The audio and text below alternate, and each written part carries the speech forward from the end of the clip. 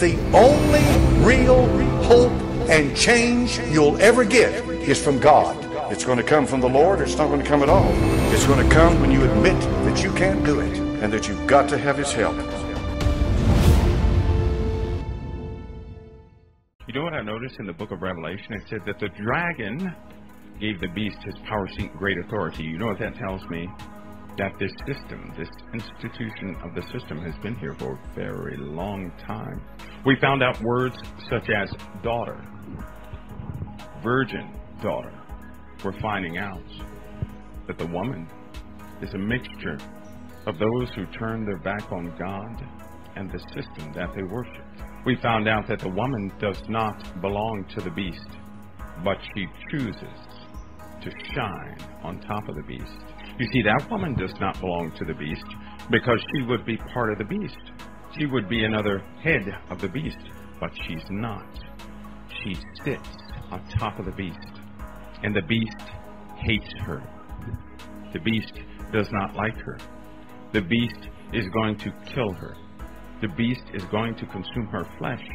She does not belong to the beast, but she's so prideful in her ways. She's fornicated so much, she's lost the path of truth.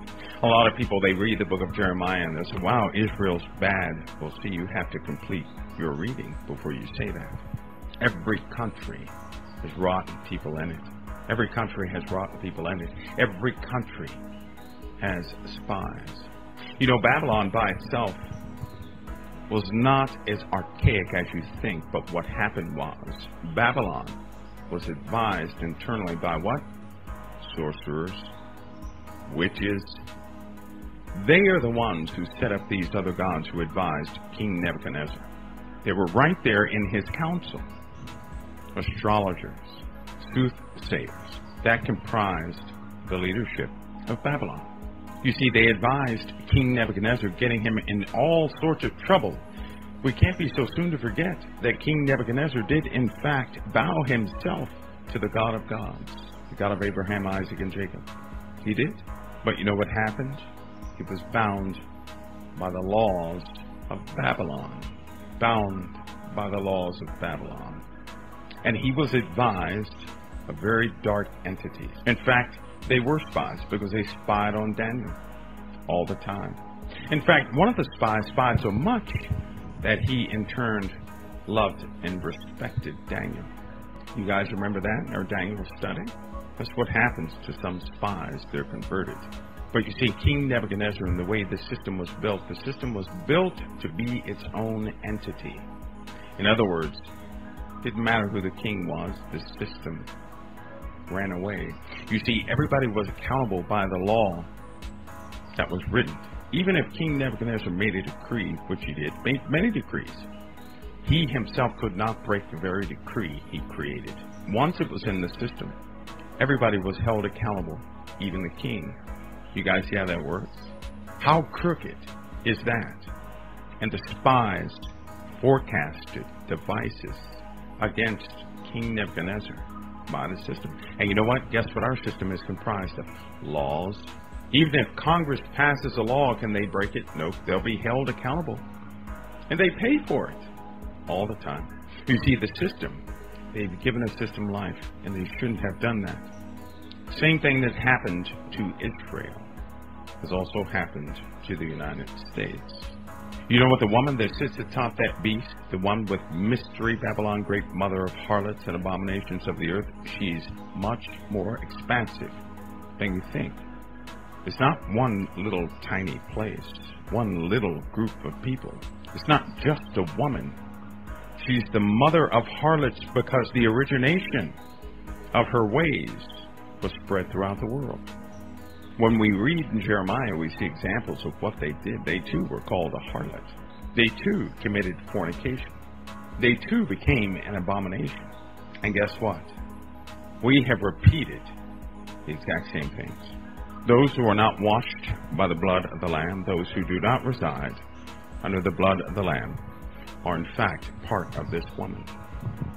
Her characteristics match the five foolish virgins I know it's hard to believe, but it's in the book of Jeremiah. You see, because there was a point when She saw the destruction. She made herself fair, cleaned herself up, painted her face. And you know what she did? She did all that and she cried out to her lovers, not to God, to her lovers. How foolish was she? She was a wife that acted treacherously. And you know what? This is so very important. There was a cry heard in the book of Revelation that said, Come out of her, my people, that you do not partake of her plagues. Come out of her, my people, that you do not partake of her plagues. She cried to other people after she made herself fair. She didn't make herself fair and clean herself up for God.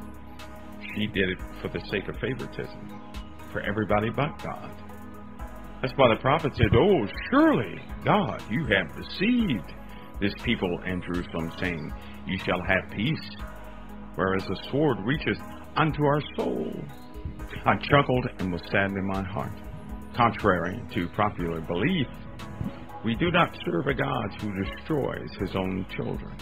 But you see, once you rebel against God, you continue to walk in your own ways, leaning unto your own understanding, justifying your sins. You, in fact, excommunicate yourself from being his child. And you're no longer his child, but you're a harlot. You're considered a harlot because once you've been his, you're married to him. And if you walk away, you commit whoredoms. That's what you do. That's what we did. Thank God for Jesus Christ. We also saw where the destroyer had been released. We heard about things like the wind. By the way, that word wind means a violent, a violent wind. Not a good wind, a violent wind. That was in Jeremiah 4 7. How that the destroyer of the Gentiles is on his way, is gone forth from his place to make thy land desolate. Whose land desolate? Israel's land desolate. And thy cities shall be laid waste without inhabitant. Whose land is he talking about? Israel. He's talking about Israel. And he did, in fact, exile them. But they didn't face all this. Here's a note you need to know in, in Ezekiel, uh, I believe it's uh, 39. Help me out, someone. I have none of my notes with me. It's okay. I'm going to go by the uh, by the hip on this one. Ezekiel 39, I believe it is. Yes, so it is Ezekiel 39. Why is God doing all this? Ezekiel 39, 7. So will I make my holy name known in the midst of my people Israel, and I will not let them pollute my holy name anymore. And the heathen shall know that I am the Lord, the Holy One of Israel. Behold, it is come, it is done, saith the Lord God. This is the day whereof I have spoken. All of what the Lord does is to show the world that He is in fact God. As a father would show his child, I am your father. A father has no greater joy than for his child to look at him after the father did something.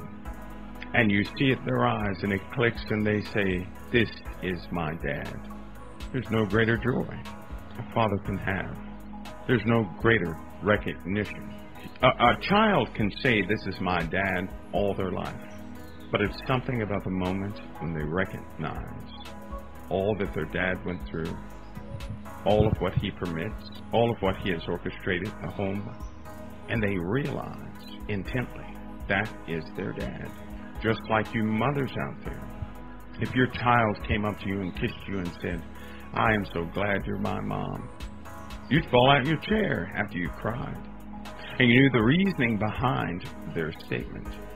They're going to say that to the Lord in the end. They will absolutely know Him. You see, and He has to do what He has to do because He decreed it. They're going to know that He is Lord, He is God. They will know it. So, what's happening now through all this talk about Israel, through all the talk about this woman who has Mystery Babylon the Great, the great mother of harlots written across her forehead, or the mother of harlots and abominations of the earth written across her forehead? Oh, by the way, if it's written across her forehead, she has a whore's forehead. That sound familiar? It's an advertisement. Did you guys catch that one? In the Bible, in Jeremiah, when it says Israel had a whore's forehead, it was saying that she displayed her intent. her intent was displayed openly. Why is Mystery Babylon the Great the mother of harlots and abominations on the earth across the head of this woman? Same characteristic. Key word here, mystery. Mystery does not define her as a nation. Mystery does not define her as a people. Mystery defines her as a collection of things. This is why in her description in Revelation 18, it aligns itself both with Israel and what the Lord said Israel would endure, and it aligns itself with Babylon as to what Babylon will endure.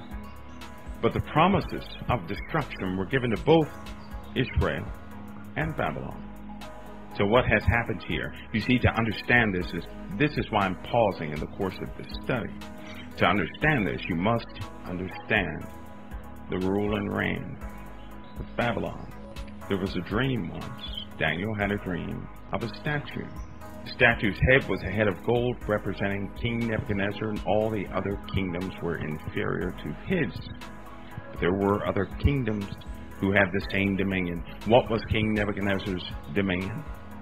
Before the uh, Persians took him over, what was his dominion? The Lord said his dominion was everywhere life was. That was his dominion. I'm paraphrasing, of course. But that was his dominion. It was all over the earth. How did it dominate the entire earth? How could, listen to me, how could one kingdom have dominion over the entire earth? Anybody know? How can one kingdom have dominion over the entire earth? Yet they were located where? In Babylon, right? Iraq. How could they have dominion over the entire earth when they were nowhere near being over the entire earth? How could they have dominion? Well, that's where you do your homework and digging. You see, King Nebuchadnezzar had an influence by the laws that he instituted in Iraq. They actually spread to Persia, Greece. They were all over the place. And people practiced the rule of law as written by some of the finest and best scribes in the world at that time. They practiced what Babylon practiced. And then it held a life of its own, and it became spiritual. This is why historians get confused when they read books like this and they say, well, it must have meant, it must have been literal, you know, back in the day. God does everything twice. You know that? He will do it literally, and he'll do it spiritually. Everybody misses the spiritual part because they're so locked on to the literal part. Was Babylon destroyed during that time? Yes. But in the Bible it says, in order for all this to be complete, it says Babylon has to fall and be found no more. But we know that did not happen, right? Everybody's been looking and searching. Yes, this time when Saddam Hussein is taken out, the Bible prophecies could be fulfilled, saying Babylon will be found no more, and no one's going to ever inhabit Babylon. But it didn't happen, right? It didn't happen. But I'll tell you this when the Lord comes back and the judgment is set, there will be no habitation of evil upon the face of this earth. How about that? They're not going to be found no more because they're going to be thrown into the lake of fire. See, something else happened. And this is why you read at the end of Revelation when it concerns Gog and Magog. And it's not that I know all this stuff, people. I told you I'm nosy. And I'll pray to the Lord. And I said, wait a minute, Lord, your word has to fit. Now, you, you show me what you have to show me. You're going to have me walking around with a wrong thought. I, I'm kind of buggy when it comes to the Father I do. I bug him, and I will not let go. I'm kind of like, you know how Jacob wrestled the angel, and he just refused to let go? That's me. I refuse to let go of certain things. I guess the Lord says, oh, give him something, please. He's saying the same thing over and over and over again, day after day, month after month, year after year. Give him something. After Satan was released again, after he was released in Revelation 28, it says something. You know what he does? And he goes out, deceives the nations which are in the four quarters of the earth. That's all over the earth. And listen, it says something curious. Comma. It says, and shall go out deceive the nations which are in the four quarters of the earth, comma, Gog and Magog, to gather them together to battle. That word Gog and Magog is a description of what the entire earth came. Why all of a sudden is it Gog and Magog? Because there's no more Babylon. That's why. So what takes over? Gog and Magog. You know the battle of Gog and Magog that was spoken of in the Bible? This is the final battle. Right here. This is the final battle right here. And it says, and shall go out deceive the nations. This is after Satan is bound a thousand years. And then he's released. When he's released, what does he do? And when the thousand years are expired, Satan shall be loosed out of his prison and shall go out to deceive the nations which are in the four quarters of the earth, Gog and Magog, to gather them together to battle, the number of whom is as the sand of the sea. They were gathered together for battle, the final battle. Gog and Magog became the entire earth. But you know what? If we're looking at this literally, you would have missed it. That's why the Lord will take you all the way to the end of something, only to have you go back and say, oops, or, or say, okay, now I have the understanding. The Lord will take you all over this book, leading you from one place to the other, back and forth, the entire time you're becoming learned in His Word. Begin to understand His language beyond the descriptions that are in dictionaries. This is not the dictionary. Gog and Magog being the entire earth. It's not the dictionary. It's not in the dictionary that daughter actually means someone who sat under or adopted the teachings of another. Old daughter, old virgin daughter, someone who's carrying away of another place. And it just so happens we learned that in the book of Jeremiah because we needed to understand how in the world does a nation fornicate? How does a nation fornicate? Unless you begin to adopt and mix in the knowledge and the practices and the heritages of another nation with what was given to you first. And if you do that and you keep doing that, you're, you're going to be called a harlot. It's what we see. It's what has happened. It's almost not disputable that the characteristics and the attributes of the harlot match both Israel and Babylon. We know it matches Babylon but why is it carried over so far in the future? Why? Because the spirit of Babylon never died. It's been resurrected over and over and over. The practices remain the same. And we know that when that principality or spirit that runs over Babylon is destroyed, ah, Gog and Magog have to deal with them too. But that's the final battle. Final battle. Right now we're dealing with this mystery Babylon. It sure is a mystery. It's comprised of many different components. And by those who are washed in the blood of the Lamb, who sincerely in their hearts have accepted Him as their personal Savior, who continually reach out to Him, you have nothing to do with this harlot. But those who have hardened their faces against their brothers and sisters, those who have turned their backs against their brothers and sisters, those who are much like the Sadducees and Pharisees, who also carried the spirit of Babylon within them and the spirit of Persia within them. We know they are part of this harlot. Now, I'll remind you again ancient Babylon, they did have sorcerers, soothsayers, astrologers. All the smartest people were in Babylon. Babylon was actually a great, great city, one of the oldest cities one of the oldest nations on the earth. That's where the Sumerian texts come from. They documented the fallen angels intently. They messed up everything because they gave this guy named Zecharia Sitchin all the wrong information. He ran away with it, published books, and now everybody, when they even attempt to look into the Babylonian text, they get thrown off or turned off or anything. They can never extract truth from that. Again, that was purposeful. That was purposeful because the Babylonian texts do talk about Yahweh. You see, they worshipped multiple gods. Daniel introduced to them the one God. They heard Yahweh referred to. It just never built anything up to him. Why? Because the fallen demanded something else. They demanded something else. They demanded blood. And so you see, now you're seeing why Jesus said you must discern these words by the Spirit. You'll get the history, yes, but you can't forsake the spiritual wisdom in this book. It's in there. It's rich.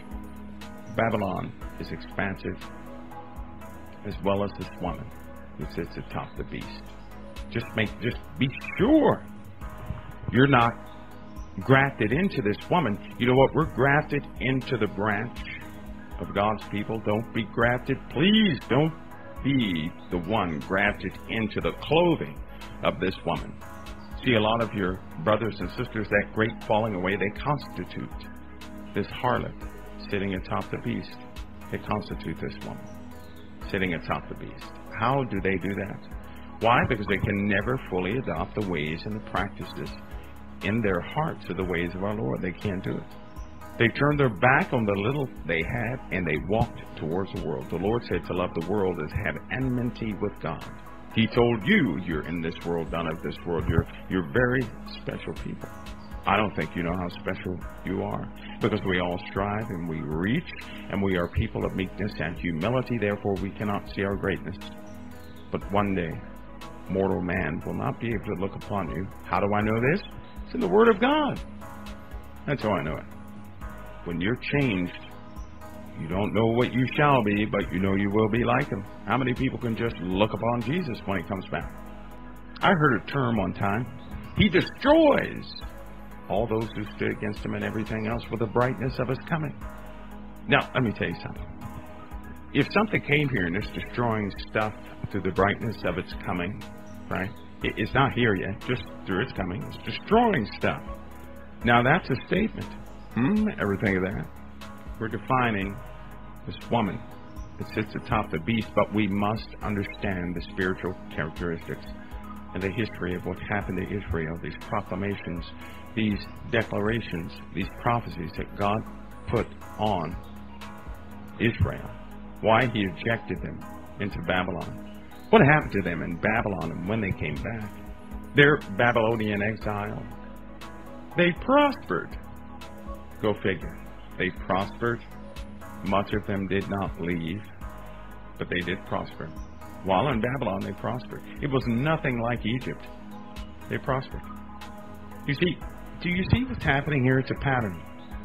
You're born in this world a special vessel. Some of you, prior to now, prospered in the world. You did. You prospered. And then the world plucked you out, got rid of you. You didn't prosper anymore. I say thank God for that. We're at the end of a matter. We're in the middle of something, but at the end of a matter. You won't suffer the fate of this harlot. It's not meant for you. This harlot will go through the plagues and the vengeance of our Lord and Savior Jesus Christ. They will. But it's not meant for you you are counted as his own, one of the elect. Never once do you hear the elect sitting with this woman who sits atop the beast. That's what got me. She sits atop the beast. No, no, a lot of people say, well, it's because uh, it's the city that's surrounded by the, the seven hills. Well, can I explain something to you? Seven heads, right? Or seven nations of where the horse sitting. If you look into that literally, you may be thrown off. But if you look at that spiritually, she's fully adopted the ways and the practices of where she sits, but they do not like her. The attack, the battle that's coming, who is it against? The Christians. Is it not against the Christians? Does the world like Christians? Does ISIS like Christians? Who's getting slaughtered in the Middle East? Christians. They kind of ahead their own kind of, you know, they, they kind of give them respect. They do. Not a Christian. They don't give the Christians respect at all. All these stories about their letting them go, that's they're pack of lies. They're a pack of lies. They're destroying every Christian that comes in their path. Even after they convert, they still behead them. All that stuff you hear on the news, a pack of lies. Our primary concern is that we abide in the words of Jesus Christ. If you don't, you stand against him. And if you stand against him, and you were once with him, you're going to suffer the fate of the harlot. They will expose you, eat your flesh, and burn you.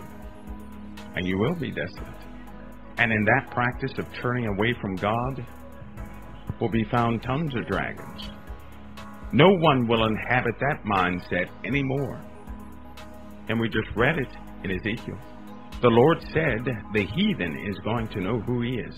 His people will not pollute His holy name anymore. He's going to put an end to all of it. And you know what? That makes you very special people. You know why? You've held on. You've held on. You, you, you've held on through the persecutions. You've held on through the backbiting. You've held on through a little bit of confusion. You've held on when the world began to fall apart because it's falling apart. You've held on. You've said in your heart, I'm going to serve the Lord. You will not share the fate of this harlot. And by the way, it's the mother of harlots.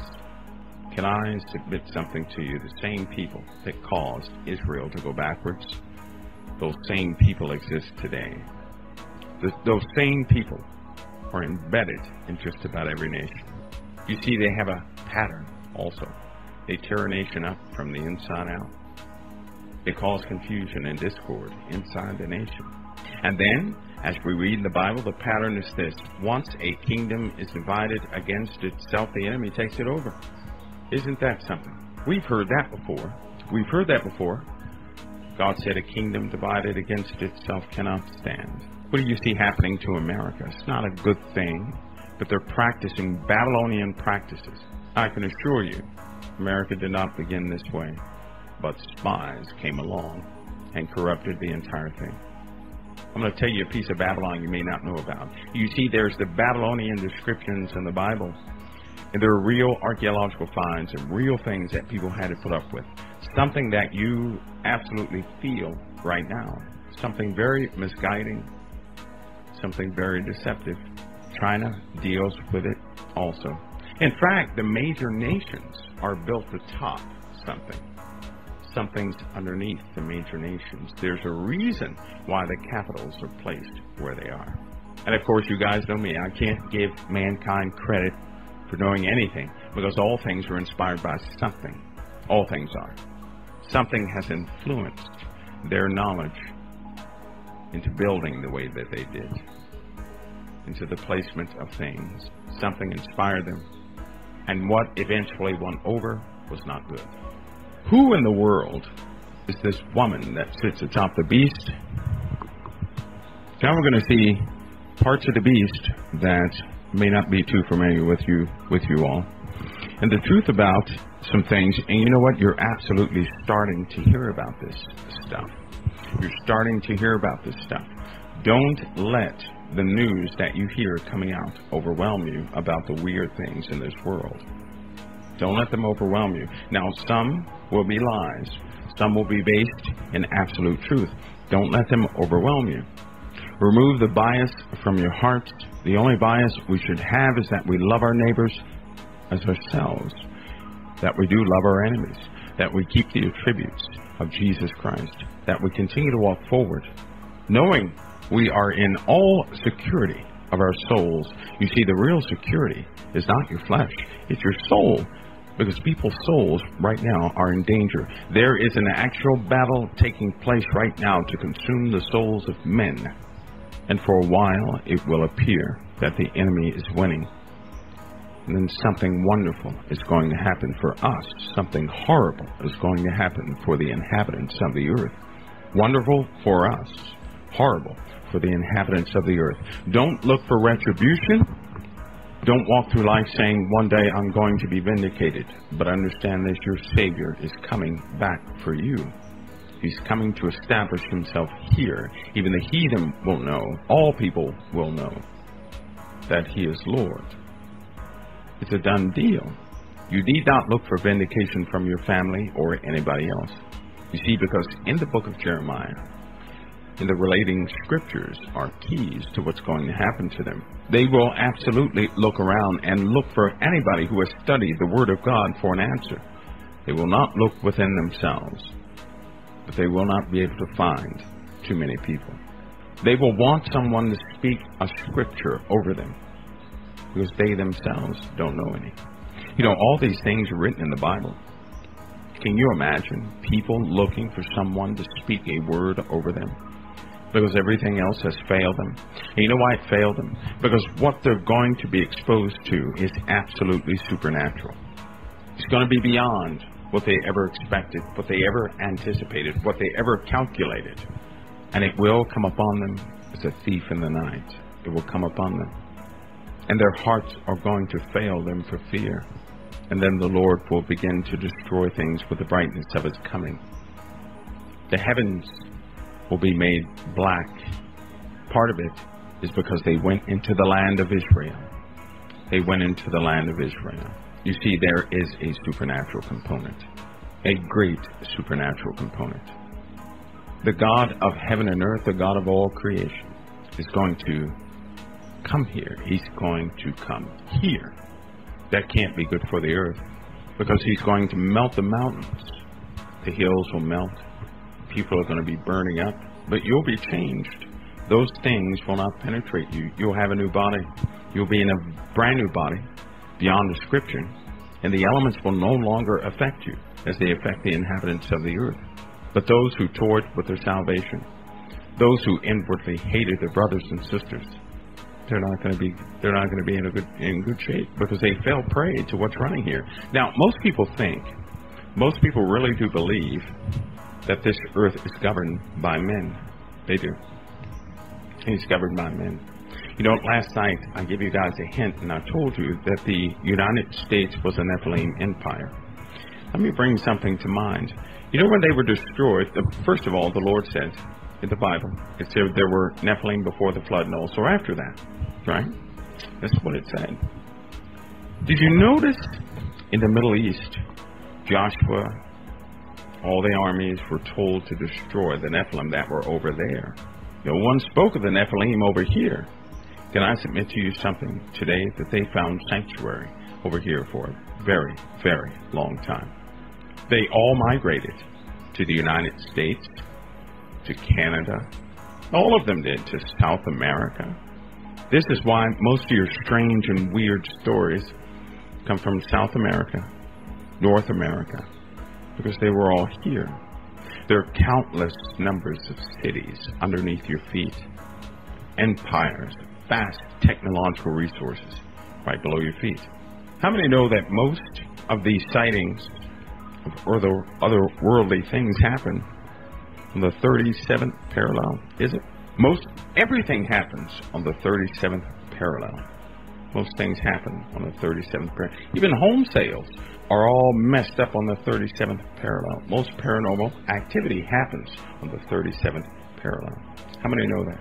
Isn't that a weird fact? That's, that's very strange. There's a reason for that. The East Coast, number one, was laden with these ancient cities, catacombs. You know what? It was so funny because um, Heidi Bagley, one time in her broadcast, she, she I, I can't remember exactly what she said, but she said she was she had a dream or something of the catacombs underneath the East Coast. You guys remember that? She said she had a dream of those catacombs. I didn't want to say too much at the time. Now the facts are coming out. Underneath the East Coast and in places like New Orleans, Florida, yes, Florida, places like that, they're laden with ancient cities. The Grand Canyons and all these entry points to these cities have been cut off. And you know what they did? They, they, they found out something. They said, how do we stop people from venturing into these places so the horror stories won't reach the world? Oh, we'll just declare them as government lands, natural preserves. We can take them over. Then we have the key. No one can build installations atop them. Because what they did was they made agreements with the inhabitants that were already here, folks. They were already here. And so later on, they began to make pacts with these things, agreements, which is why presidents cry. Most of the presidents of the United States cry. Reagan, he cried too. In fact, there are memoirs that are coming out from uh, uh, other people that were in Hollywood that will tell of Reagan and his wife being very, just simply torn and ripped, ripped apart in their souls of something very real that happened to them. It would appear that those who go in these governing positions, they're hiding much more than classified research. By the way, why in the world would you classify something that doesn't exist? Why? Why would you do that? They didn't classify Santa Claus. They didn't classify Santa Claus. So why classify things that don't exist? Why do that? But I'm telling you something because America has been under the influence of these things for a very, very long time. You often, folks, you often hear me make a statement that when the church was flourishing, when it was flourishing in truth, the atmosphere of the nation changed. It began to change, but no one continued in that celebration. And the enemy sent spies out all over the place spirits, demons. Don't give credit to people, they're not that smart. Demons began to operate again. You see, we've been in a war in America. It manifests in the physical. That's why we had slavery and all these other things. America was a a great challenge, and the Lord did prepare this place before anybody got here. But we did not continue in His ways. See, when you don't continue in His ways, and you have built a kingdom on top of hell itself, what happens when you forget about God? Hell begins to rise again. It's that simple. Nephilim kingdoms are all over the place in North America. This is why we have so many reports of the weird phenomena. They're not just made up things. Some of them are. Some of them. I, would say that uh, 90% are made up, but there are 10% that are real mysteries to the average person. 5% are so horrible, they wouldn't dare let that truth be told, because it all boils down to a spiritual realm being real, flesh and blood. People have died encountering things here in the United States by flesh and blood things underneath the ground. And of course, we have underground bases, don't we? You see, it wasn't easy to establish underground bases. It was not easy at all. First thing they found out when they began to create these underground bases is that somebody did it already. Somebody did it, and somebody had the upkeep on these places. And I'm telling you now, they're not very friendly to humans, to mankind. Demons are not friendly to humans. Number one, they never want to be found out displayed made known or anything else before the time, whatever that means.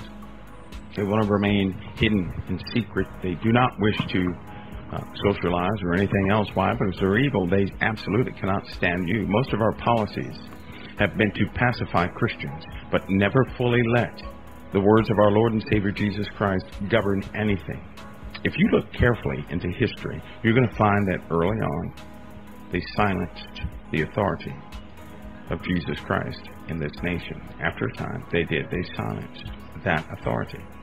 They come up with very deceptive plans. They don't care how many lives it costs, but they come up with deceptive plans to keep your attention away from the truth of our Lord and Savior Jesus Christ, which is, He is Lord. That simple truth. They keep you bamboozled. You begin to look at topics like protests.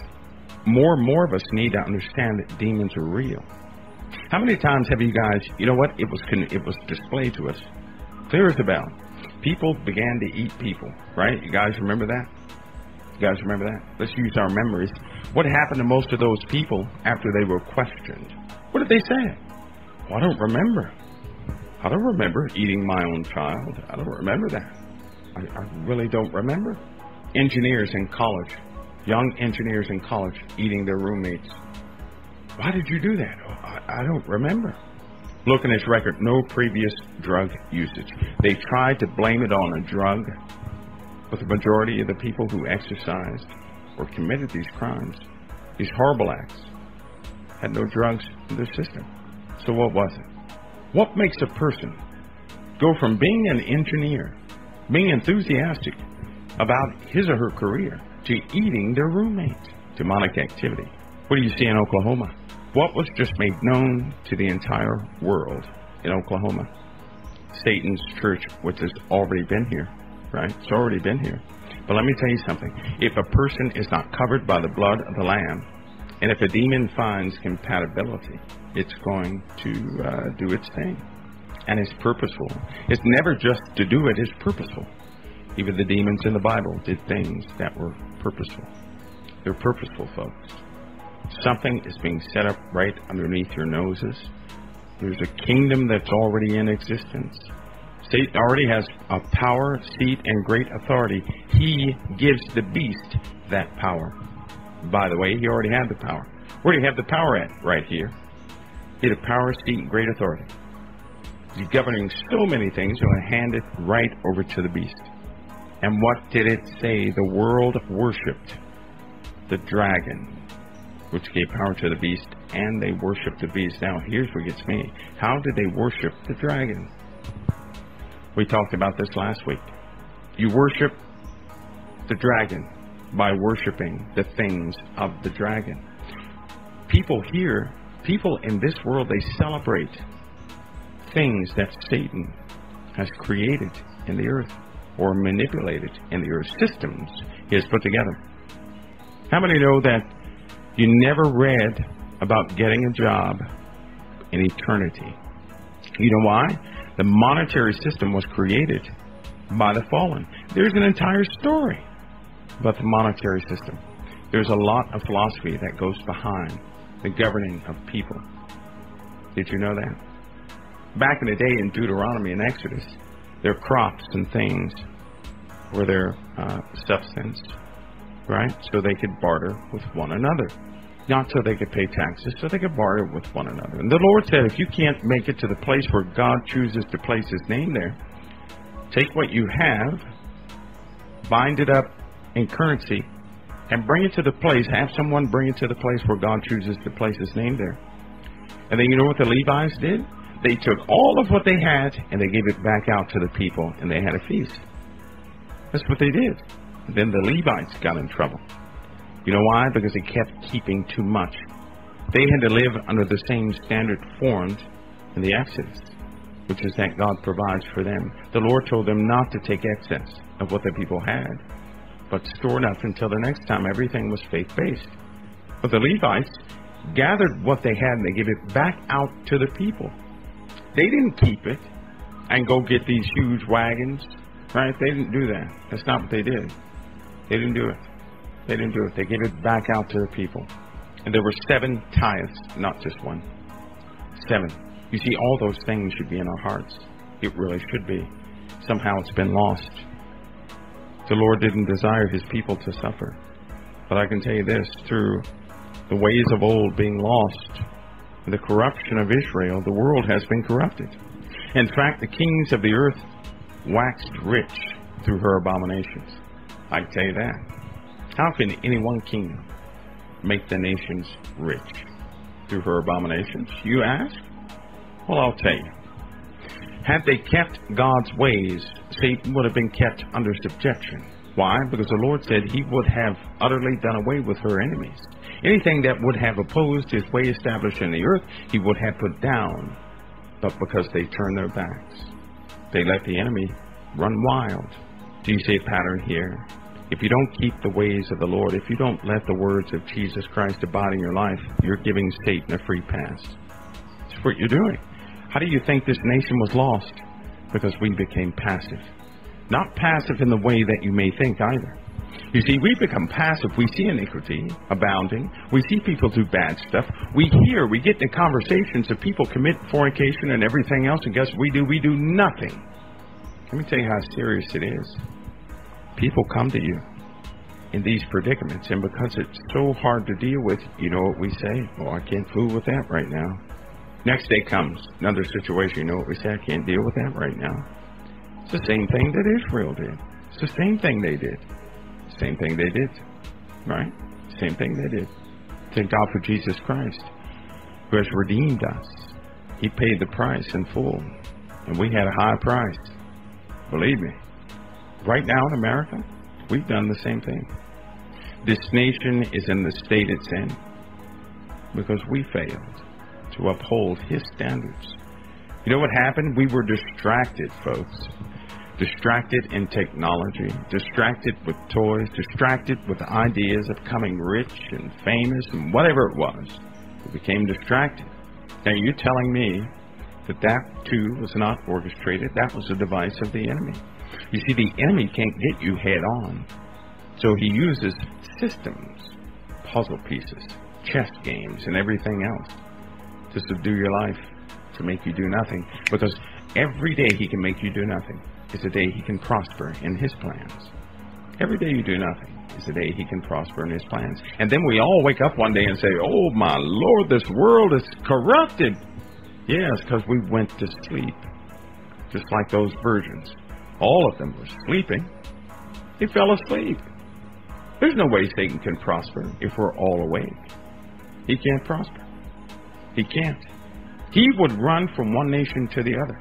In, here in America, if the Word of God were absolutely alive in every aspect of our lives and with everybody we came in contact with, he would he would he would get so tired of running. He said, uh, "I'm not going back to the United States." That's what would happen to him.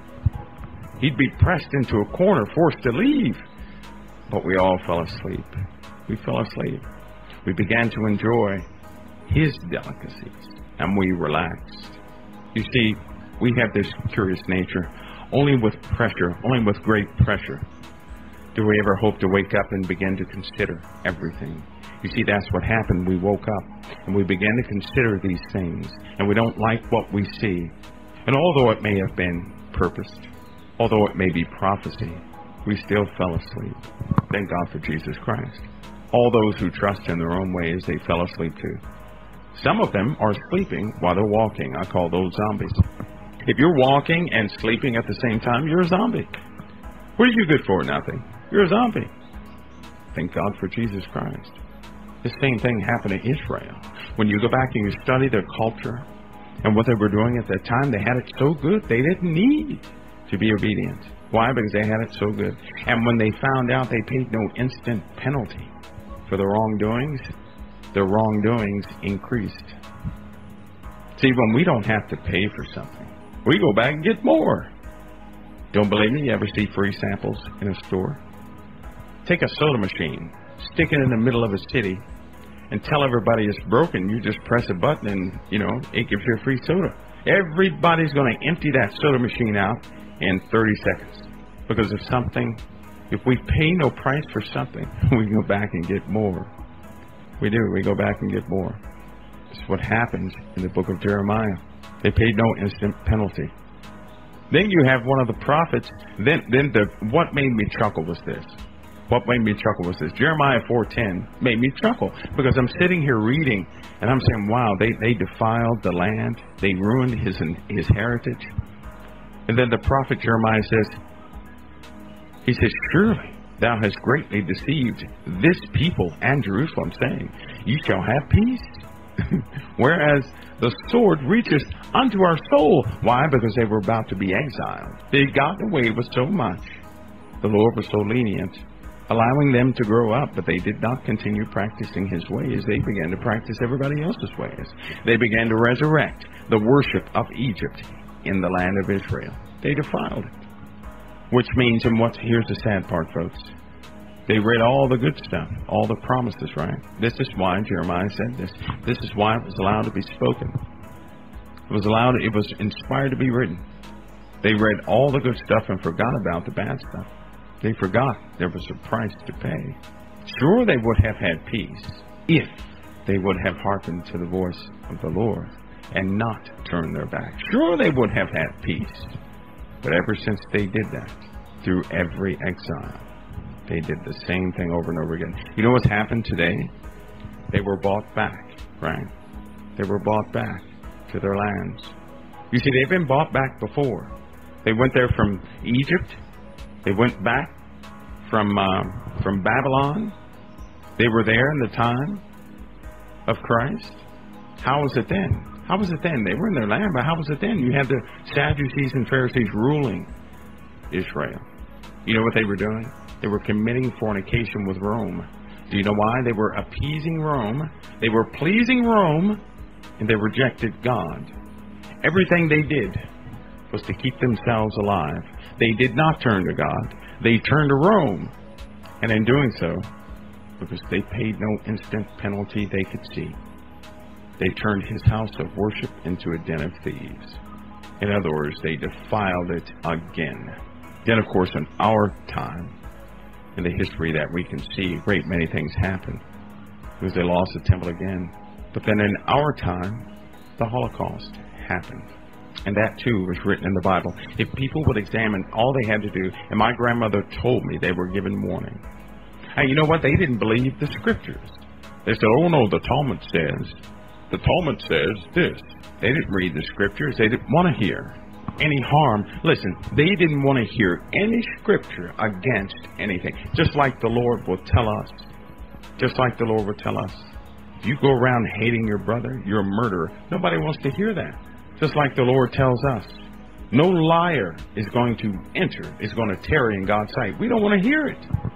We don't want to hear that. Just like Israel did not want to hear the bad things that would happen to them if they did not hearken unto the voice of the Lord. And you know what's happening right now? They accept the sacrifice of Jesus Christ, but they do not want to listen to the words that He said.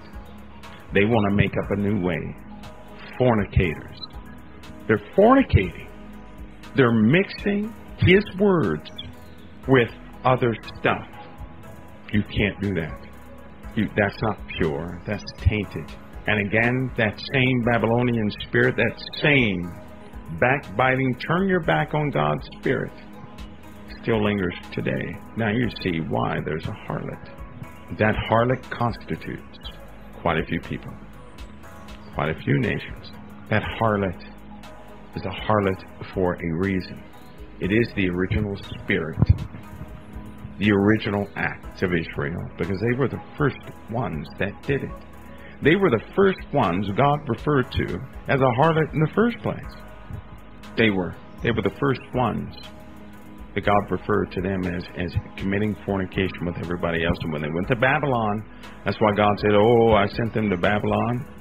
I'm going to paraphrase to correct them, and yet you just you just ruined them and made my heart heavy. And then when you look and you try to understand that, you realize they began to prosper in Babylon. They turned totally away from, you know what they did? They mixed God's words with Sumerian God's words. And then they came up with one single thing. That's why some of the holidays were changed. But it didn't constitute the people because some of them made made honest statements that they were in darkness while they were there. You see, some of them understood. They said they were in darkness. They didn't like being there. The statement was, God placed me in darkness. That was a statement. God placed me in darkness. That's in uh, Lamentations 3.6. God placed me in darkness. And it's referring to the Babylonian Talmud.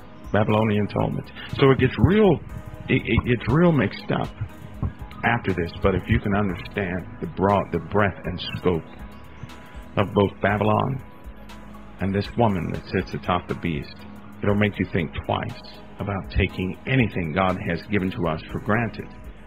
We see the fate of this woman. We see the fate of Babylon. We know that he called Jerusalem old daughter of Babylon. When she went there and came back, he called her old daughter of Babylon. O virgin daughter.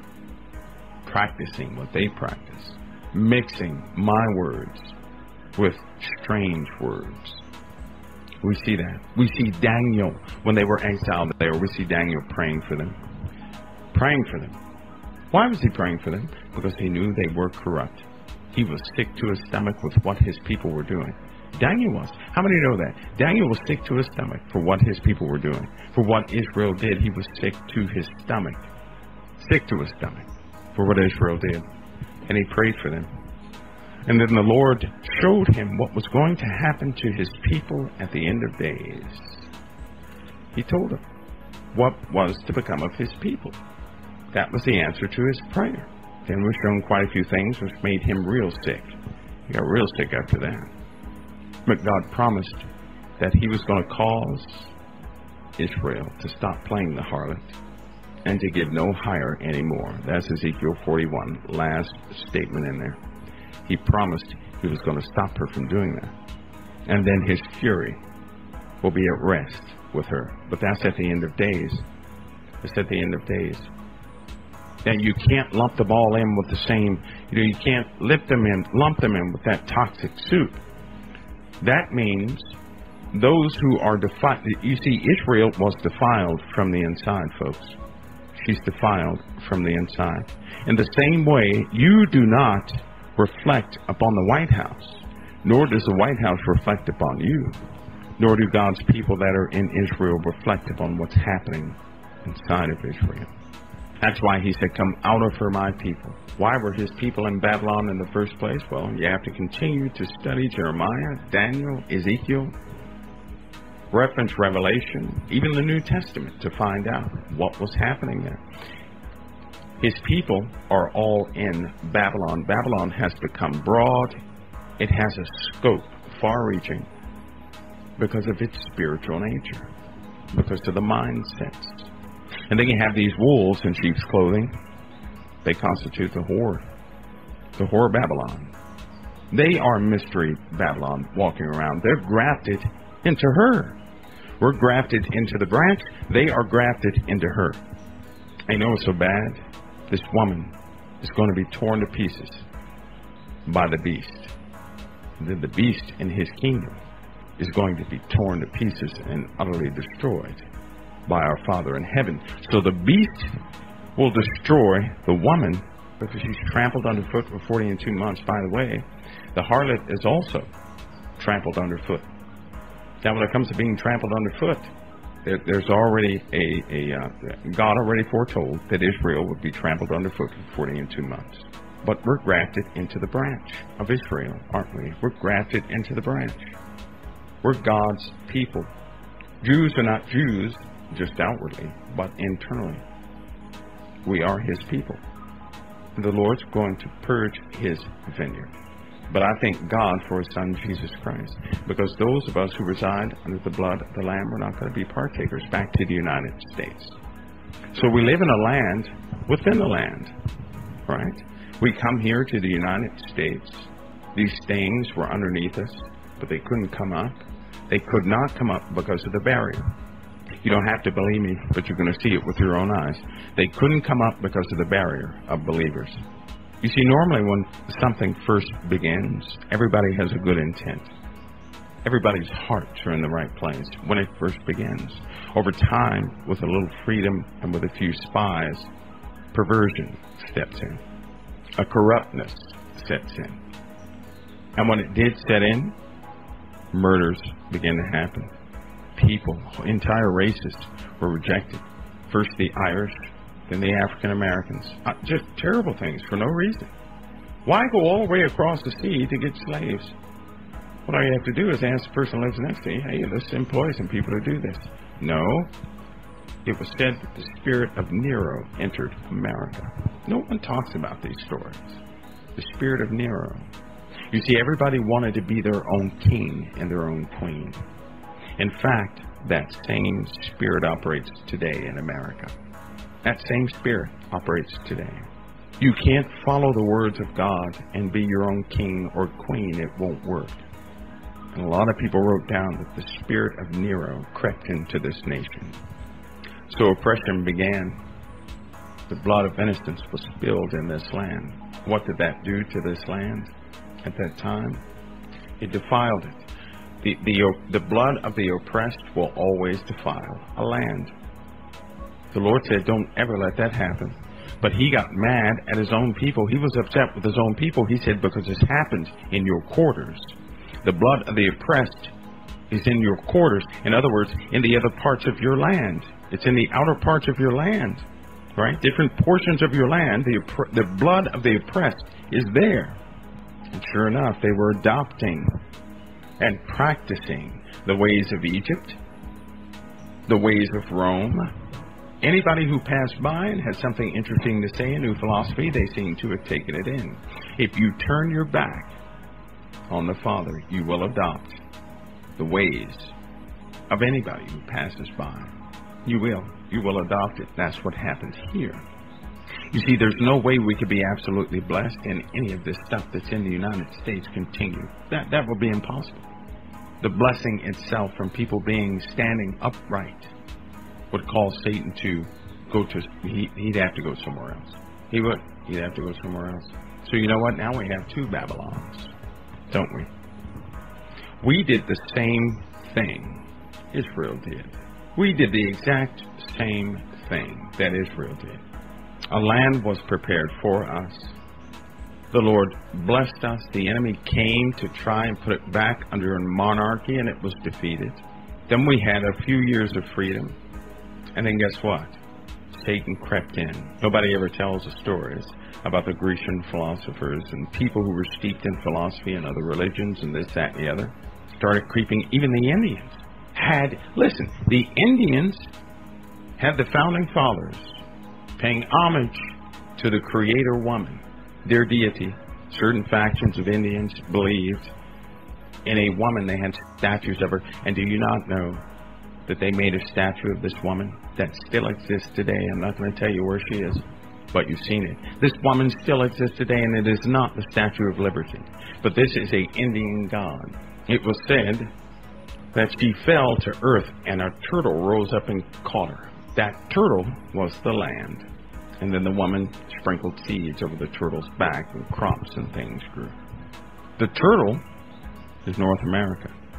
And they had a picture of it too. So obviously they somebody showed them North America from satellite or something. It's the fallen angels. Fallen angels. They made an idol to this thing and paid homage to it. You can't have an idol sitting in a place where you're worshiping the Lord your God. You cannot found a nation on God's word and then retract it. There's a penalty. We did the same thing Israel did. And when you know it, we did. We invited people into this country and said, hey, you can have freedom here. And then we adopted their religions. Now we have them all lumped in together. And we've been fighting over who has religion, rights, and everything else here. You know, and now what are we saying now? Worship what you want. Be what you want. Now we become almost a wholly owned subsidiary of Babylon. Oh, and by the way, we practice sorceries, witchcraft. We don't trust anything unless the scientists say it. They had scientists in Babylon. They had astrologers in Babylon. NASA, there are astrologers. If something happens in the heavens, who do you go and check with? NASA, right? We say we don't like them, but we go check with them anyway. Astrologers, scientists, soothsayers. Oh, you say we don't have soothsayers? Hmm? Those who those who divine the future and all this other stuff, right? Do you know how many presidents have psychics on their payroll? Do you know how many people in Washington, how many people in leadership positions consult psychics? Do you not know that the CIA, the FBI, they use psychics? Hmm? They practice witchcraft. What do you think remote viewing is? You think that's just a science? No, that's tapping into forces we shouldn't. We should have relied on the creator of this world. Now we didn't and have fully have turned our backs, and now we won't even allow the name of Jesus Christ to be spoken. In the capital that was given to us through the grace of God, what do you think that is? And you know why all this stuff happened, by the way? We fell asleep. We kept saying to ourselves, you know, it'll get better in time. They just, no, no, it's not. We fell asleep. We did not stand with integrity and say, no, sir. No, sir, it doesn't work like that. You better repent. We didn't have people in masses saying, repent. You see, we have no excuse these days. We have the Holy Spirit. We should have a collective voice telling everybody in leadership, you better repent now or pay the penalty according to the Word of God. Yes, the Word of God is real. Cast down your imaginations while you still have life. For the Lord will plunge you and your nation in darkness, and He will deliver us. That's going to return, by the way. A collective voice, not from one person, but a collective voice. It's already written. A collective voice will speak and declare. A collective voice will speak and declare. We fell asleep. You know, guys, I was wondering. In the book of Revelation, it says there will be a, every island and mountain will be moved out of its place, right? You guys know it's not going to happen from an internal force. I don't think it will be. I can speculate. I'm not sure because it does not say it's going to happen externally or internally. But I do not believe it's from an internal force. Let me turn my volume up here. Can you guys hear me a little bit uh, better now? Hopefully. Good to go? Good to go? Hopefully. Not going to happen internally. I don't believe it's going to happen internally. You know what I believe? I believe that something so frightening will come upon the face of this earth for those who are not covered in the blood of the Lamb, for those who are still here. I do. Because I'll make this statement. I'll make this statement. You ready for this statement? We are not appointed to his wrath. And if everything is burning up and melting and everything else, it's part of the judgment. Because everything is burned up right before he judges everything. Destruction, destruction on destruction will be upon the face of this earth. It's not appointed to us. We have to be in a different form. If you're under the blood of the Lamb now, now I need to make I need to bring out a very important point. And this is why it's so very important for people not to play with their salvation. You know, playing like they're okay and everything else. They shouldn't do that. By the way, it's in the book of Jeremiah. Go figure. Go figure. It's in the book of Jeremiah. But there was a point in time when they saw the destruction coming that they made them. They they. It says that she made herself fair. She put on adornments. She put on her gold and silver and decked herself out. She saw the trouble coming, and when she saw the trouble coming, guess what she did? No one would help her. Can you imagine seeing the destroyer coming back? It, you know what? It reminds me of the virgins. It really does. They all woke up. Some were prepared, five were prepared, five were foolish, and were not prepared. Because if you don't have oil, you must have fallen asleep, not thinking about the oil. You see, because they didn't make the proper preparations. Even though they were in a time of sleep, they had no intention of anything coming to pass. They didn't. Now listen, the only way you can be caught unawares is if you don't really think it's going to happen. Because if you think something is going to happen, you're not going to be caught unaware. But if you don't really think it's going to happen, and you know, it could be a mythical story and this, that, and the other, you're going to be caught off guard. As they say in Texas, you're going to be caught with your britches down. And then you're going to be in real trouble. You're going to be in real trouble. This is what Israel is. You know what? God declared Israel would do the same thing. She'd do the same thing. You got to ask yourself, why in the world is, is the Lord so harsh on Israel? Why? Because she was the first fruits. That's why. She was the standard bearer. Through her, the word of God went throughout the whole earth. Through her, this world could have been repaired. But because she messed up, she caused Satan to prosper. That's what she did. She caused Satan to prosper. She did not hold up the standard that was first given to her, kind of like what America's doing now. America's messing up from the inside out. As a result of America losing her place, what's happening to the rest of the world? Chaos. You know, there was a time when we could call up a nation and say, listen, you need to fix this, or we're going to hammer you hard if you don't.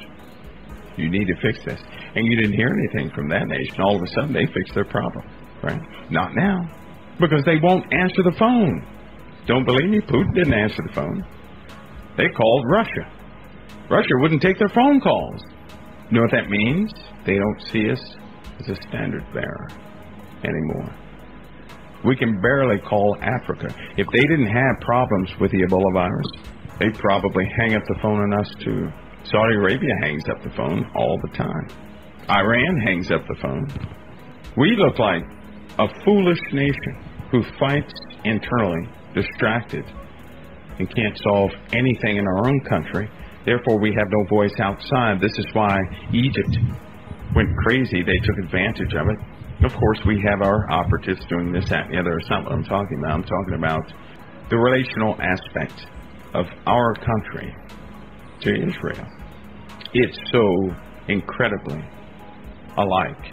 We share many attributes to Israel in their rebellious state. And we all know what happened to them, don't we? That's why the Lord said, Come out of her, my people, that do not partake of her plagues. Now, what does that actually mean? Come out of her, my people. Didn't Jesus? Jesus told us what that meant. He told us what it meant. He told us exactly what that meant. Did it mean pack up your bags and leave? That's not what it meant. If you're part of this woman, if you're part of that woman riding atop the beast, you will have the same plagues as she has. Your fate will be the same as hers. If you're holding on to this world thinking that your answers are in the world, You're holding on to the harlot who once having the Word of God turned her back on it in full, who fornicated with every other belief. She's a combination of all religions. She's a combination of all philosophies. She does not depend on God, but she has looked into her own beauty. The Lord said, Come out of her, my people, they do not partake of her plagues. Come out, come out of her. And you know what? So many people now, they still have fully adopted a fallen, the fallen nations, plural, never really anticipating the rising of a system so horrible that it will subdue all the others. May I remind you, the ten kings, right, that are with the beast, it says in the Bible they have no kingdoms as of yet, but will one hour with the beast. They're not appointed as kings yet. They're not public figures yet. They're not the presidents of countries yet, but they will one hour with the beast. That term, one hour, means one season with the beast. One season with the beast. One season. I'm going to equate it to one season because it says a lot of stuff. But one season with the beast, they're going to have power, and they're going to hand their power over to the beast. So while everybody else is busy trying to really point out this man of perdition, we need to remember that man of perdition is going to be revealed. We're going to know who he is because we can't go anywhere until that happens. We're not going to go anywhere unless there come a great falling away first. We see that happening.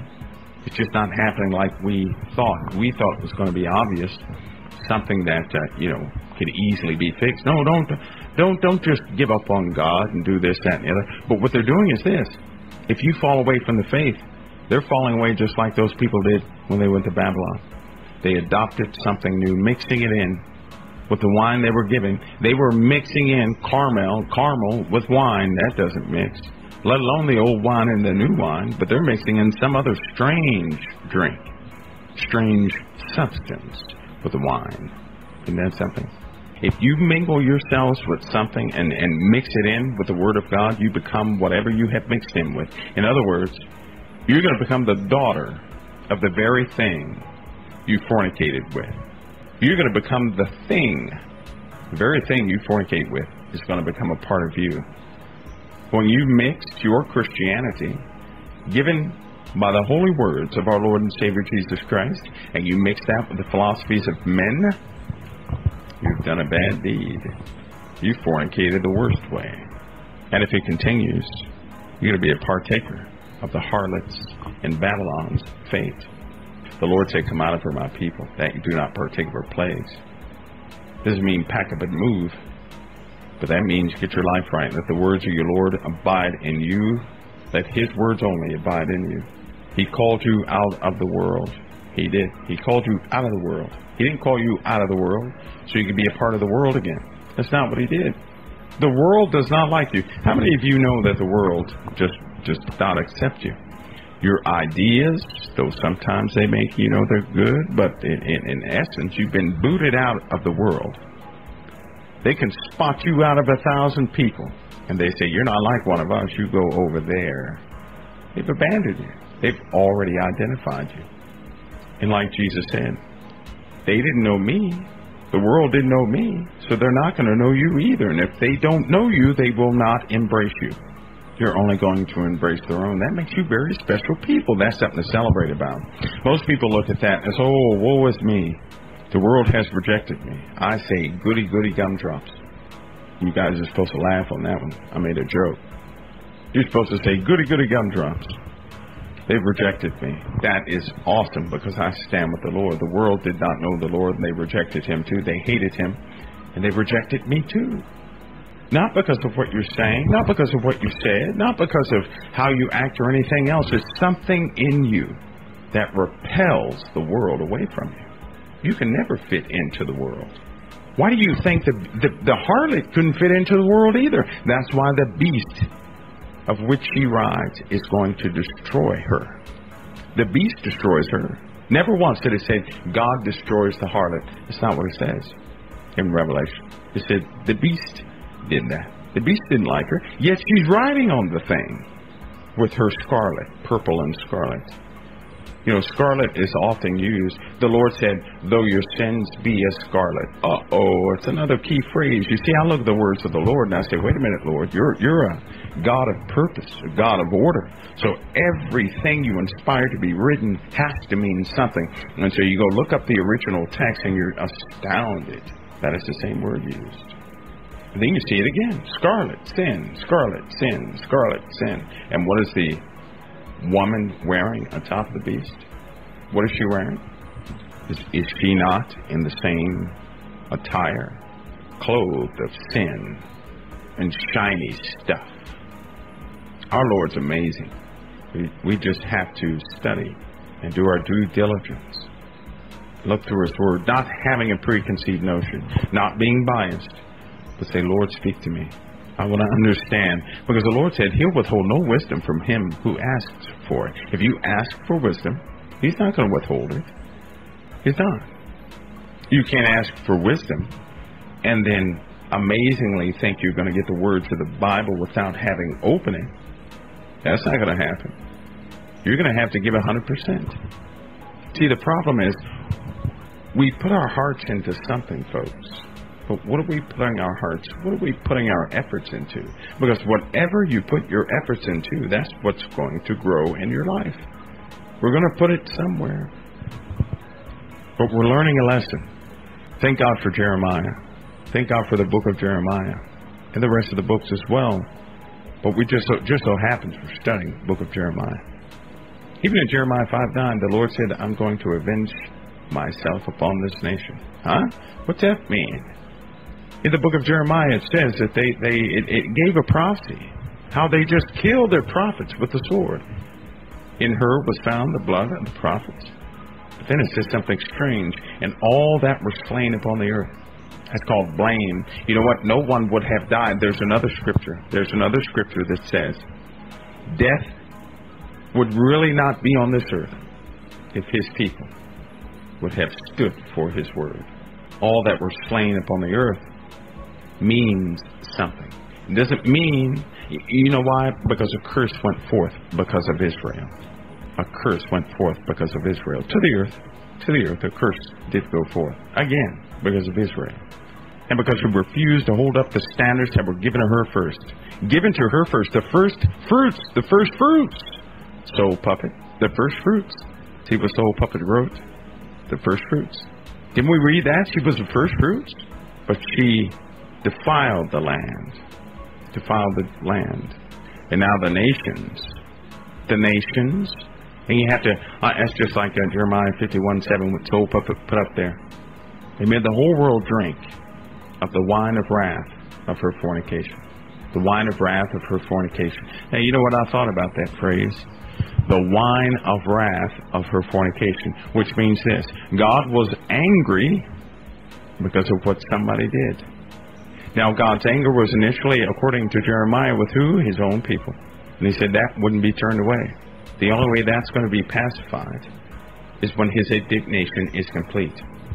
But then, what did he say in the book of Ezekiel?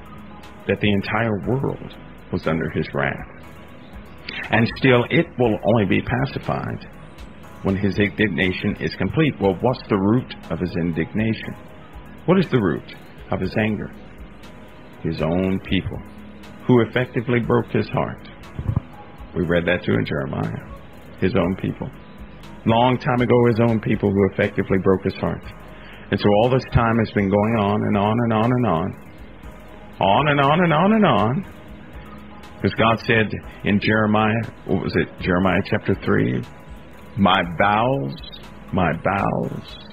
That, that's a bad pain you know, that's a bad heartbreak. That's heartbreak pain. Because why? Jerusalem and Judah dealt treacherously. He was her husband.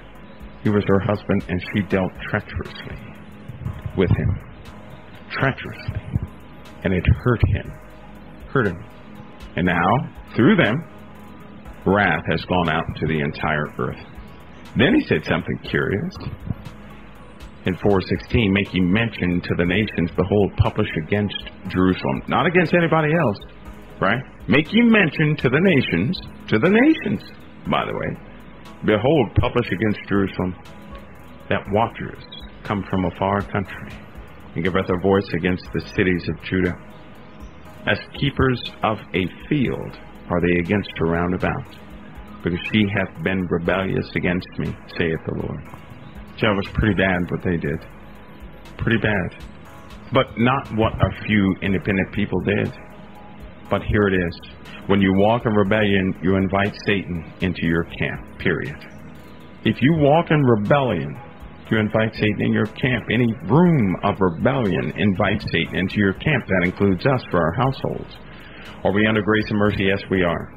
But none of us can ever deny that when we turn away from the Lord, the smallest matters, Satan comes right into our homes, our situation. Doesn't he? Doesn't he do that?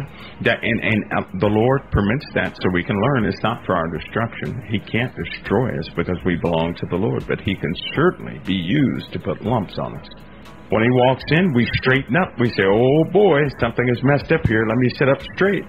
Because if Satan does not step, listen, if you never faced a trial or tribulation, you know what would happen to you? You go to sleep. Anybody ever been asleep at night, right? You get a phone call, it's not a good one, and you raise up right in your bed, you're getting up on your feet, and you're trying to figure this thing out. Well, it woke you up, didn't it? All of a sudden, everything that you put off now becomes important, and you're you're you're you're back to business. Oh, I got to get this done. I got to get this done. Kind of reminds me of combat. You folks that have been in combat, everybody's around, you know, you're around a foxhole, bunker, whatever you're doing, around the CP, command center, whatever you say. Everybody's, you know, they're eating their MREs and talking and, and discussing and doing this, that, and the other, and all of a sudden, you begin to hear artillery shells or an aircraft that you can hear the jet engines are not U.S. jet engines. All of a sudden, you snap to it. You're like, oh, I'm back to business. Well, that happens in your life too. That's also going to happen to the inhabitants of the earth. See, if the enemy was never here, all of us would we'd just be asleep. No alarm clock. Satan is our alarm clock. That's you know what? That's why it was written. I think that's why it was written. All things work together for the good of them that love the Lord, who are called according to his purpose. Do you know why? Because even when Satan attacks you, it can be used for your good. Even when Satan runs amok in your situation, you're growing and learning, and you certainly woke up. You know what that means? He cannot overtake you because you belong to the Lord. Is he going to operate? Yes, he is. He's going to operate. His imps are going to operate. They're going to operate.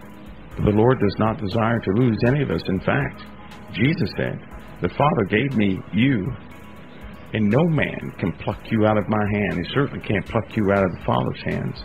And he also said, Jesus also said in the book of John, it is God's will that Jesus not lose any of us. That's what God's will is for him. The only way you can be lost is if you turn your back on the Lord. If you become a Nathan, you become a Nathan, and you sell out your own people, and you become a worker of the wolf, you become a wolf yourself. You're now an agent of Satan. Well, you're going to do your damage here on the earth, but you're still not going to be effective. You're not going to be effective. It's not going to work. But I'll tell you this Satan can only draw out of men what he has invested in them. And you know what? The Lord told us to die to our flesh daily. You know why? Because in your flesh are the desires of this world. And the more you die to your flesh, the less Satan has to hold on to. In fact, it was written, a man is drawn away and tempted of his own lust. If it's not within you, it can never be used against you. So if you walk out there and say, well, I was tempted to do this, that, and the other, that means it still resides in you. That's the time to go to your prayer closet and say, Lord, look, I found something. Satan found something in me. Remove it. He's got a handle. He's got a handle. Remove it. See how that works? Ask the Lord sincerely instead of uh, fighting about it, hiding it, and all this. Either bring it straight to the Father in truth and say, Lord, remove this because you said a man is drawn away and tempted of his own lust. Now, I was tempted today, which means it resides within me. Satan cannot tempt any of us. He can't tempt any of us to freeze ourselves to death, right? No, not one of us is going to go into a deep freezer and tell somebody to shut the door and lock it. We're not going to do that. Would be just absolutely ludicrous. You know why? Because we don't want to freeze to death, do we? We don't want to freeze to death. So that temptation will never work on us. And first of all, Satan has to know what your temptations are to utilize them. That means he has spies in your life. And if he has spies in your life, they're watching you all the time, and they're waiting on a weakness to be exposed. And we tell him everything he needs to know because we get on the phone and we mumble to ourselves, "Oh, I just can't stand this person," right? And the, and the more you talk, the more ammunition the dark side gets, and they'll say, "Well, we're going to use that against her next time." Somebody calls you on the phone, you lose your composure and everything else, and they're happy. They're like, "Yes, that worked. We're going to use this next time," because we show Satan everything he needs to know. He can't read our minds, but he can absolutely send his agents out to watch everything that you do, and we tell him everything, right? So don't do that. Anyway back to the subject, we see an example in the book of Jeremiah of a great many things. These are nuggets of nuggets in the book of Jeremiah. These are nuggets of nuggets in the book of Jeremiah. Some of you are called by the Lord to do some things, but you know what? Here's the fact. You're scared. You're thinking, all right, well, I'm not equipped to do this. I need to learn more to do this. Can I can I tell you something? The Lord said, Whom he called, he also qualified. You're just like Jeremiah. You're just like Jeremiah. He called Jeremiah. Jeremiah said, Well, I'm, I'm a child. He said, Don't say that. The Lord touched his mouth. Touched his mouth, and he said, You're going to go tell these people this, that, and the other. And then the Lord said, For behold, I have made thee this day a defenced city. He put the armor on you. And an iron pillar, you can't be knocked over. And a brazen walls against the whole land. Whatever mission he sends you on, you can't be defeated and against the kings of Judah, and against the princes thereof, and against the priests thereof, and against the people of the land. Whoever he sends you out to, though they may be against you, though they may have titles or no titles, whoever they may be, you're prepared for it. And guess what? It says, then it says, Jeremiah 119, and they shall fight against thee, but they shall not prevail against thee, for I am with thee, saith the Lord, to deliver thee. Now, if you know this, and if you know the Lord said, whom he called, he also qualified here now. If you weren't protected, Satan would have snuffed you out a long time ago. Why? Because he comes to kill, steal, and destroy. That means Satan can't get to you, folks. So don't think he can. Stop thinking he can get to you. Start saying yes to the Lord. Don't worry about anything else. He said, I send you sheep among wolves. I love that term, sheep. You know why? It, it, it's kind of humble and meekness but if you're sheep among wolves and you defeat them, what does that make you? Something more powerful than that wolf is. That's what it makes you. Don't sit back in the seat of defeat. Oh, I'm too tired. I can't encourage your soul. Understand that your God is the God. You see, when I read Scripture, I start to find out who my Father is, and I get absolutely excited. I do. I get. I get. I get so excited I can't concentrate sometimes. And I say, "Oh, wait a minute. Oh, let me sit down. Let me sit down." I get excited. Sometimes I, I'll start crying. Don't tell everybody, folks. Don't tell everybody. But sometimes certain things hit my heart so deeply, right? I have no other choice but to fall to my knees and say, Thank you, my Lord and Savior Jesus Christ. When I say thank you, Lord Jesus, it's just not a repetitious word that I use because when I say that word Jesus and when I hear other people use it, it does something to me internally. You see, because the memory of what he did by what I've read comes back to me. And I hold on to that with everything that I am, and I will never let go, nor will I forget. I'm not worthy to walk in my own shoes, but the Lord saw fit that I did. I'm not capable of conducting what I have conducted, but the Lord saw fit that I did for His glory, for His purposes. Not so that I could be this shining figure in the profession that I'm in, because I despise my profession. But I've reached a lot of people that probably would not have been reached.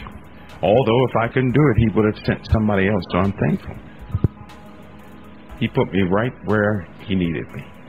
And I'm just now starting to understand the fullness of that. Very difficult to understand sometimes. I don't argue with him either, as though I know everything and he doesn't. I do not. Now, when I see His Word and I need it to work in somebody's life, and all the requirements are met, and I do go search diligently to make sure those requirements are met, well, then that's a different story. I said, wait a minute, Lord. Now, you said you would do this, if they did this and I don't see it. Oh, and by the way, did I tell you, you said other men would witness it? See, when you do that, you know what you're doing? You're exercising your faith because how can you talk to something you can't see? How can you make a demand of something that you can't see? That's faith. And what did it say in the Word of God? It is impossible to please God without faith. So when you actually do utilize your faith, what does that mean? You're pleasing God. And if you please God, you're in a good position with Him at that moment. I just love Him. I do love Him. And I think the Word of Jeremiah is rich. I think it's rich. Oh, let me read something to you, Jeremiah six fourteen. They have healed all. Let, let me read the whole thing. I got to do it. I got to do it, folks. I got to do it because I need to identify something being said right now. I need to do it. Here it is, Jeremiah six ten. To whom shall I speak and give warning that they may hear? Behold, their ear is uncircumcised, and they cannot hearken. Behold, the word of the Lord is unto them a reproach. They have no, no delight in it. Therefore, I am full of fury. I'm full of the fury of the Lord. I am weary with holding in. I will pour it out upon the children abroad and upon the assembly of the young men together. For even the husband with the wife shall be taken, the aged with him that is full of days, and their houses shall be turned unto others, with their fields and wives together. For I will stretch out my hand upon the inhabitants of the land, saith the Lord. For from the least of them even to the greatest of them, every one is given to covetousness. Halt! You know, when I read this, I, I got sad in my heart. I got sad in my heart. Listen, from the least of them even unto the greatest of them, every one is given to covetousness. What is that? Didn't the Lord say, Do not covet thy neighbor's wife or anything of your neighbor's, just simply don't covet it. What is coveting? Anybody know what that word covet means? Has anybody ever defined it? Anybody ever defined what coveting means? Isn't that to want something that's not yours? To desire something that's not yours?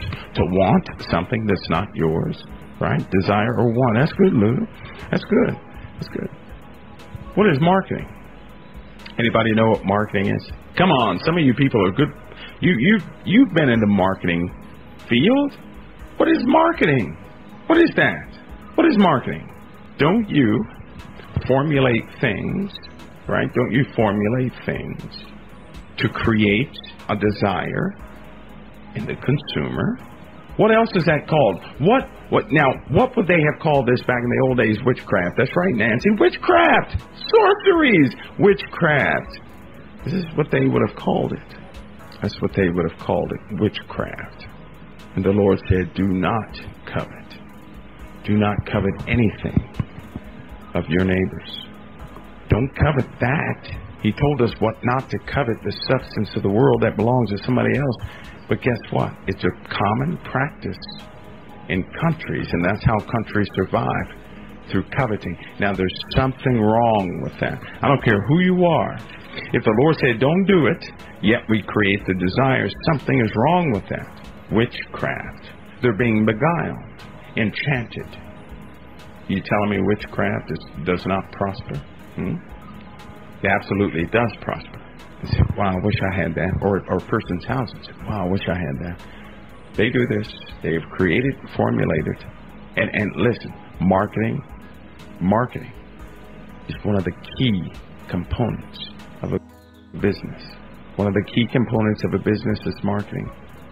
Marketing, marketing, marketing. They don't go, they don't care who they sell it to, so long as you're able to sign the contract.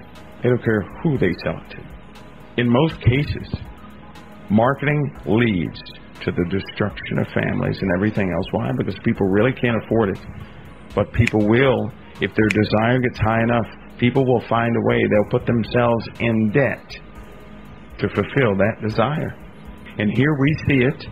I will pour it out. I will pour out. The Lord's talking about his fury and his wrath. He's going to pour it out abroad. And why? Because of covetousness. Isn't that something? That's just absolutely 100% astounding. And it's all the way back in the book of Jeremiah. From the least of them, even unto the greatest of them, everyone is given to covetousness. And from, listen, here's a big one, and from the prophet even unto the priest. everyone dealeth falsely. Now, can you say the Lord was really upset with him? This we're, we're talking about Israel, folks. We're talking about Israel. They have healed also the hurt of the daughter of my people slightly, saying peace, peace, when there is no peace. Can I can I tell you about this daughter word again? A daughter is young, learning from the mother, learning from the mother, adopting the ways of the mother. And he just said, They have healed also the hurt of the daughter of my people slightly, saying, Peace, peace. There is no peace. Who's a daughter of Jerusalem? Judah. Were they ashamed when they had committed abominations? No. They were not they were not at all ashamed, neither could they blush. Therefore they shall fall among them that fall. At that time that I visit them, they shall be cast down, saith the Lord. Thus saith the Lord, Stand ye in the ways, and see and ask for the old paths. Where's the good way? And walk therein, and ye shall find rest for your souls. But they said, We will not walk therein. Also, I set a watchman. I like this one. I set a watchman over you. And guess what the watchmen were saying, folks? Hearken to the sound of the trumpet. I love that. Let me read that one more time. Jeremiah 6:17. Also, I set a watchman over you, saying, Hearken to the sound of the trumpet. But they said, We will not hearken. Therefore, hear, ye nations, and know, O congregation, what is among them. Hear, O earth, behold, I will bring evil upon this people, even the fruit of their thoughts, because they have not hearkened unto my words, nor to my law, but rejected it. Then he says this, For what purpose cometh there to me incense from Sheba, and the sweet cane from a far country? Your burnt offerings are not acceptable, nor your sacrifices sweet unto me. Therefore, thus saith the Lord Behold, I will lay stumbling blocks before this people, and the fathers and the sons together shall fall upon them. Neither and, and the neighbor and his friends shall perish. Thus saith the Lord, Behold, a people cometh from the north country, and a great nation shall be raised from the sides of the earth. They shall lay hold on the bow and the spear. They are cruel and have no mercy. Their voice roareth like the sea. They ride upon horses, set in array as men of war against thee, O daughter of Zion. Who is the daughter of Zion? Who is that? Jerusalem. We have heard the fame thereof. Our hands wax feeble. Anguish hath taken hold of us, and pain as the woman in travail. Go not forth into the field, nor walk by the way, for the sword of the enemy and the fear is on every side. O daughter of my people, gird thee with sackcloth, and wallow thyself in ashes. Make thee mourning as for an only son. Most bitter lamentation, for the spoiler shall suddenly come upon us. Haven't we read that before? Maybe in the book of Joel, maybe in the book of Ezekiel, maybe saw the evidence of this in the book of Revelation. So, what do we have here, folks?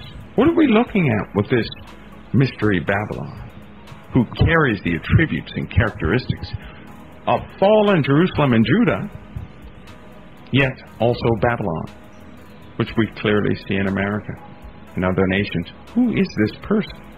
I'm telling you right now, if you're looking for a literal place, you're going to mess yourself up. That's why it says mystery. Mystery Babylon. Mystery Babylon means a Babylon not known in former times. Right? Mystery Babylon, something you wouldn't think about. Mystery Babylon. Mystery Babylon. Why is the province of Mystery Babylon the same attributes from Jerusalem and Judah all the way to America and around the globe? Why? You see, Babylon sat atop the beast. The beast, if it's a collection of other nations, they do not like her. Now, let me tell you something. What are the two nations that the Middle Eastern folks want to destroy? What if they have they have committed themselves to destroying who? Israel and who else? Who else is America? They don't like us.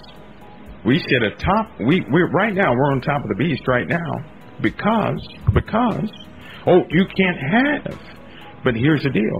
Now, we know Israel is one because we're trampled underfoot for 40 and two months, but I submit to you this. The Lord gave us the same things He gave Israel, and we messed up worse than they did. They were the first fruits. We came along later as another fruit. They were the first fruits. Why did He say they were the first fruits? Because there was another. Ta-da! If it was only one fruit that was ever going to be in existence, right, it wouldn't be a first fruit. That's why I say give the first fruits of your increase. If you had no increase or there was nothing else, he would say, just give me that. Right? He said, just give me that. But he didn't say, just give me that. He said, give me your first fruits. Give me the first fruits of your increase. First fruits of your increase. That's what I require. Or it's broader than that because many people have grafted themselves into the clothing of this woman. They don't even know it. You're not going to partake of her. You're not riding atop the beast. You're covered by the blood of the Lamb. You belong to the Redeemer, to the King of Kings and Lord of Lords. But there will come a falling away first. And these people who fall away, once knowing the Lord, are walking as a walking abomination and fornicator, and they too have become a harlot, grafted into the clothing of the harlot, clothed in sin. It's a real pitiful thing. Notice also in the last days perilous times shall come. For men shall be lovers of their own selves, covetous, boastful, proud, blasphemous. It takes the grace of God to change us, folks. How can you be saved if you're not willing to repent? And the Lord Jesus Christ said, Except you repent, you shall all likewise perish.